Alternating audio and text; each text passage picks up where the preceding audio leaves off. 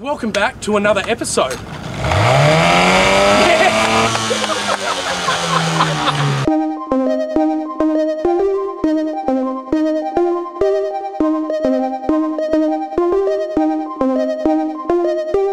Oh my god, three in the morning. I've dragged anchor. The wild southwest. Jesus.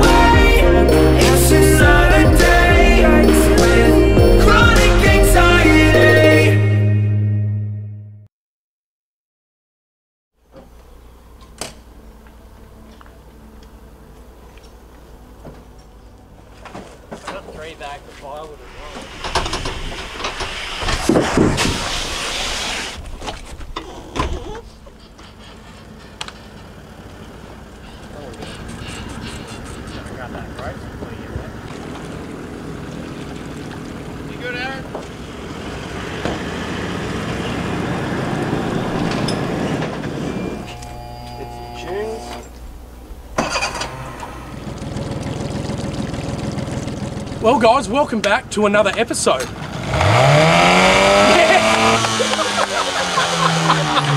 There's another Smoky. There is another Smoky on site. Now, welcome back to another episode. Now, I'm not, not going to bore you with the details of where we are. Keen eyes will know where we are, but look, I'm just going to quickly say to you there is two reasons why I was so keen for this trip, and I'll run them by you as the trip goes on. Um, but keep an eye out for that because I think you boaties will find it interesting, or guys who want to camp on their boat. And I'll also introduce you to the guys that are coming along. Um, Aaron, our mechanic, he's coming along, so I'll introduce you to all the guys. Really good crew, small crew, um, and we're going to cruise up the river. Let's see what we get up to. A few interesting things that I wanted to show you. Sit down, grab a beer.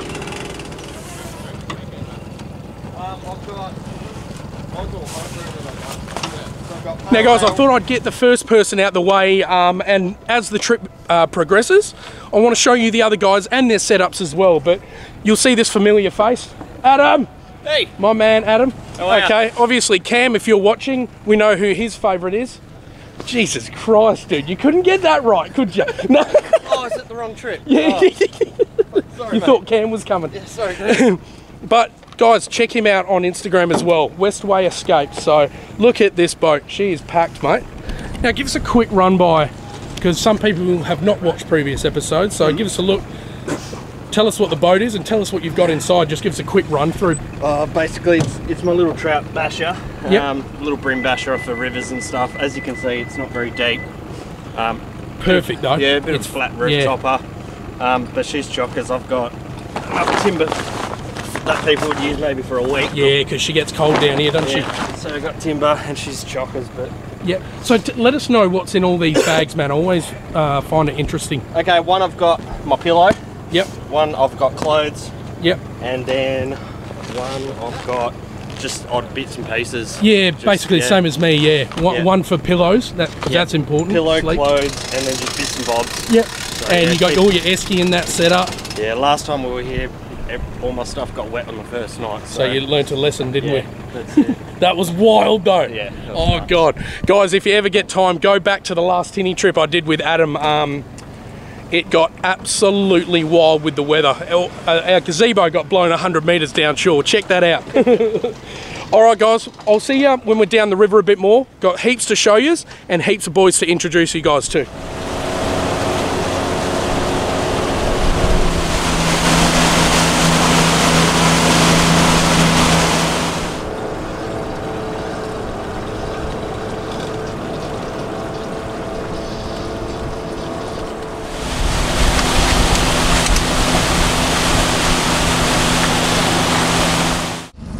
Yeah, it's not connected.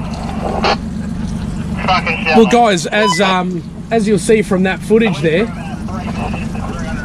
um, I've never seen the river that low. So this section of the river over here, we've always sort of cruised through, props down, no worries, no shallow drive needed whatsoever. But bloody Adam, Adam's gone along and it's gone from like three meters down to 300 mil, and he's the heaviest boat here, believe it or not. Have a look at it. Look at the freeboard on it. How'd you go? Wait, oh my god. Have you ever seen it that low? Guys, actually, while I'm here, while we um, wait for Adam to speak, this is Dean. Dean, guys, mate, say good day. So, Dean, you and, you and these lads here run a channel. Yeah, me and the boys, we just share what we get up Yep. to, our trips and that sort of thing on, on YouTube, Venture Yep. Driven. Venture driven. Yeah, so if you want to have a squiz, check it out. Yep, have a look, uh, guys. Nothing special like Pete, but uh, we shared all our stupid What are you adventures. Nothing special here either. What happened there? I was doing about 12 knots and I went from about 12 to 2. I've never seen it this low, eh? Mate, I I can see the bottom. Yeah, can you really? Yeah, point four here. Yeah, look at that. Yeah, I got that. It's going to set me swag up here. Yeah, probably could actually. no, we'll have a chat to Adam when he gets here because um, it'll be interesting to know. I've still got that. on. 20 pots here all the way across. I don't Geez, that's not even reading now. Come on, get us back a bit.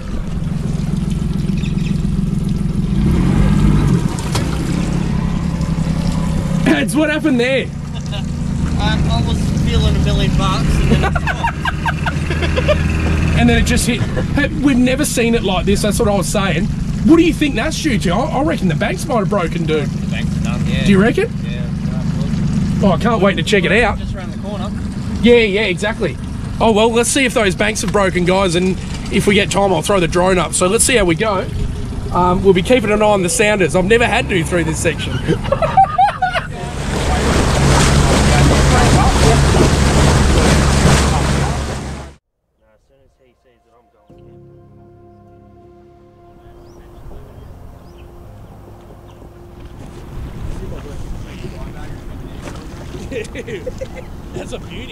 I like your um, Burke and Wills cover. How it's a dry bag. Well, that's my first swag bag I bought. That's good. I just stopped using it because I didn't need it anymore. And then after this trip, I was like, fuck yeah. Yeah, I got this big one from fucking BCF. Darchie. How many hundred dollars? Yeah, I was going to say for that FIFO money.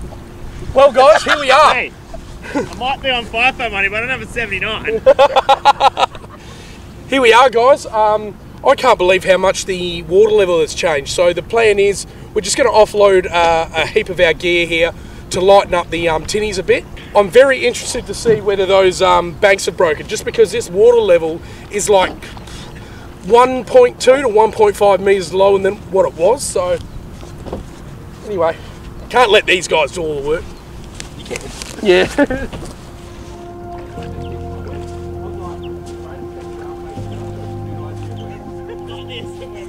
That's the teeth marks in the esky. Oh, I love that.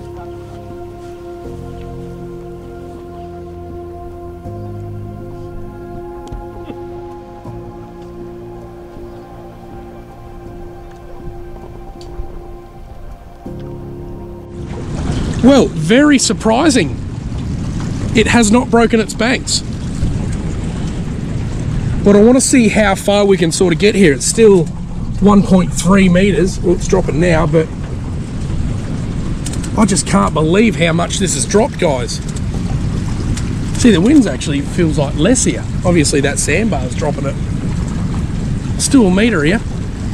So what I want to do, I want to pop over here, and I just want to take a walk over because I think the boys uh, tomorrow night want to have a bit of a fish. So uh, maybe while they're fishing, um, I'll try and get a camp, um, a feed going for them but I don't want to tell you what we're doing for dinner yet. You'll have to stick around because old mate here, he's a chef.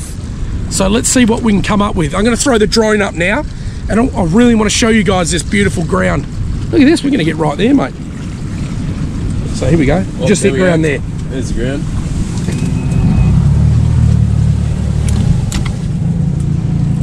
That'll do. Let's have a look around, eh? We need a boat for mate. Nah. Went through the wrong hole, look. Fucking hell. Ah! Back her out, mate. Oh. Jesus Christ.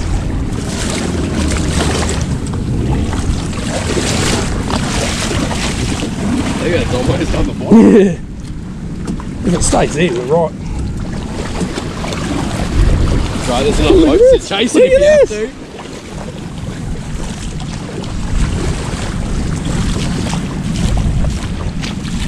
I've said it many a times when I've camped here. I think each each bloke's getting a bit bored with me saying that right here, all through here, and up through there. The first time I ever camped here, this was like a nine meter high dune. It's insane. Beautiful thing about having the boats. So we've all bought beers here for a bloody little sunset drink. That wind is not as bad as you think. That's fine. And you must keep in mind that you can only get here via boat. It's awesome. Anyway, have a look from the sky, um, and we're going to scope out this joint and see what uh, some of these fishos can do tomorrow night, I guess. I don't know what we're getting up to tonight, but you'll have to stick around, guys. Absolutely awesome. Been missing getting these boats out. Look at that view. Jesus. Say it how you feeling right now. Say it how you say it. Show me how I look in your heart. Better look amazing. Better look amazing. Better look amazing right now. Say it how you feeling right now. Say it how you say it. Say it how you feeling right now. Say it how you say it. Show me how I look in your heart. Better look amazing. Better look amazing. Better look amazing right now. Say it how you feeling right now. Say it how you say it.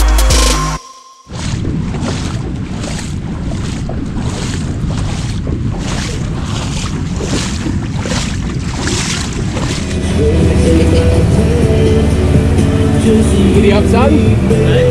Giddy up, son.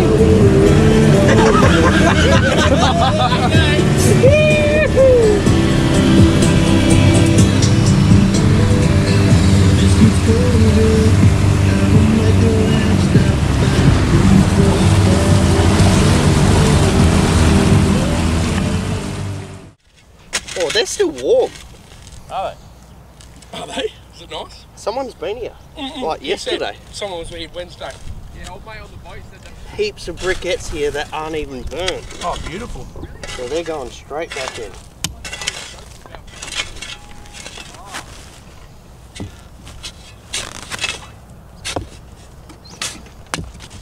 Highlight is that? Like, how we all go. That is.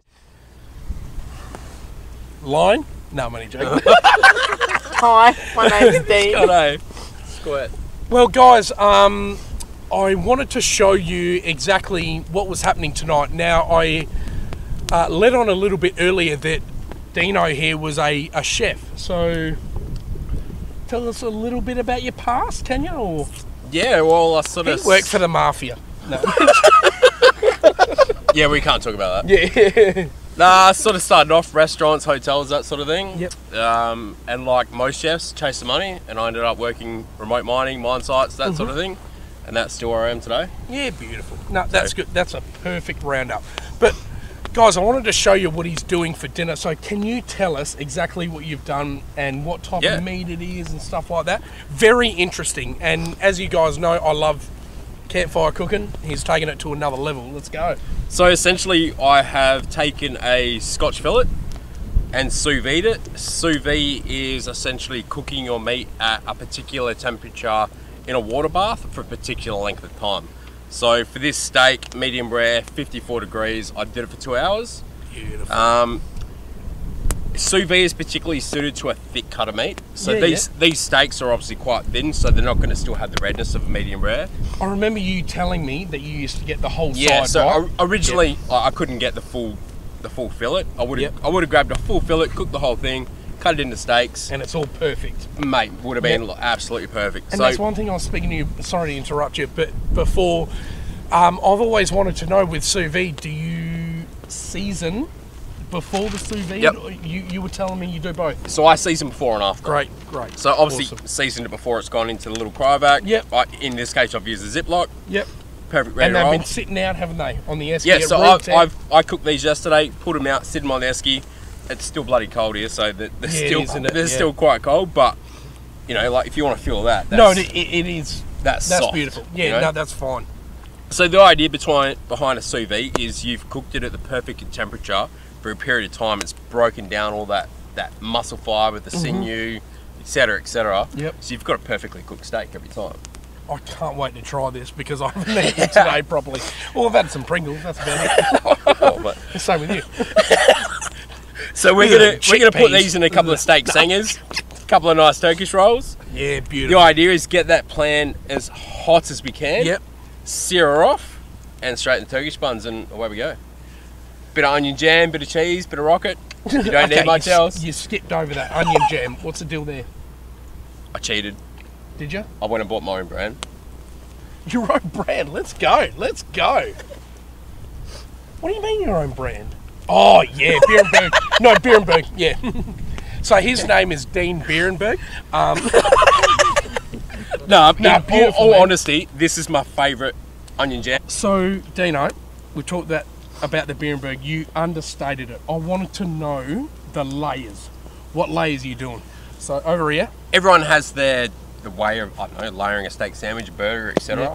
My way of thinking is you put the lettuce or the rocket in our case on top. Yeah. Your burger's going to be up here. You got to squash it down. My way I of thinking. hate a big burger. I really do. I need a biteable one. So we're going to put the hickory smoked barbecue on the bottom. Yes. Yep. So Turkish bread, stone Yep. cooked. Turkish bread, Boom. The hickory smoked barbecue sauce on Yep. the bottom, and nice layer because you've got to get a bit of sauce in there. Yep. Uh, we'll throw the rocket on top. Once the rocket's on top, we'll throw the steak on top. Yep. Because it just, it'll slowly wilt the rocket, Mm. calm it down. It'll warm it too. Why do you want a cold salad on your warm steak sandwich? Hundred percent. You know- no, just salad full You, you get people that put cold beetroot on your warm burger. Are you- Are you kidding me? Um, and then we'll throw the cheese on top of that, so it melts obviously. Yep. Um, and What then we- cheese? What cheese? Vintage- You're understating it. vintage cheddar, Yeah. mate. Vintage, Vintage cheddar. Like, I'm a strong believer in strong, bold taste, Yeah, but simplicity as well. Yeah, I love it. So, this, this is a very simple burger. or Yep. Steak singer, nice bold cheddar, um, and then we've got some garlic uh, Dijon mayo. I was going to ask you that. I was going to say sauce. Yeah, Sauce garlic Dijon mayo. eh? Yep. I'm a big mustard Oh, fan. Man, mustard is understated. Yeah. You've always got to have that bit of tang in there. Oh, do you know what, guys? You know you've made it when a chef's cooking for you. See you in the B-roll. Thanks, brother. Awesome. upbeat.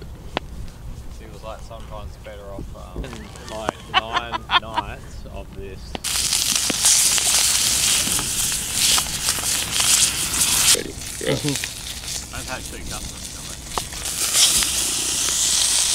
That's what you want, a nice crust. Perfectly cooked steak, nice crust. You're feeling pretty confident now, aren't you, sir? Let's make another five. Yeah. Well done, boys. Well done, Dino. Thank Everyone's you, confident, mate. mate. Few beers in. Let's go. It's a good thing. So there's two ready right now. Get in ya. Beautiful. All right, looks good.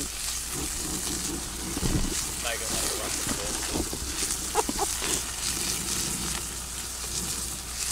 rocket So tell, tell me what you taste, man. Oh, Can't Adsy. Is it crispy? Boys? Like the steak nice and crispy? Mate. I taste all the good things right now. He's anyone's. How soft is Sim- oh, yeah, beautiful. That's Like beautiful. you don't have to chew your steak. Absolutely beautiful. That's soft. Falls apart in your mouth. Oh, beautiful boy. That's when you know when it, when you're not dragging the whole steak out of the sandwich. Oh, that rocket's a bit tough though, isn't it?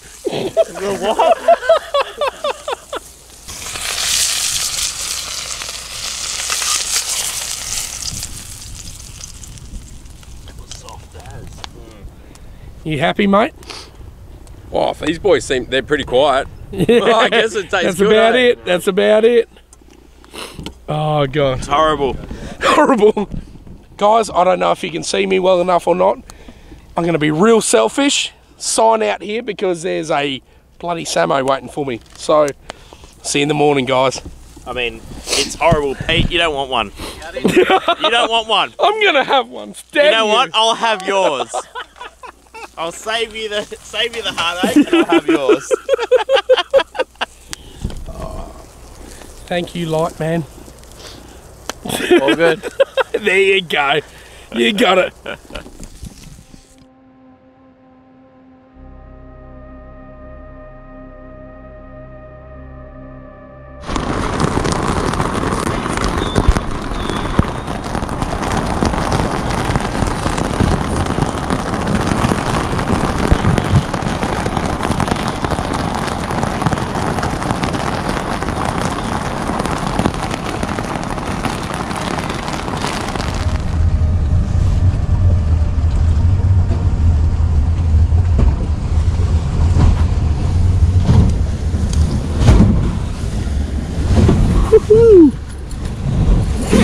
Three in the morning.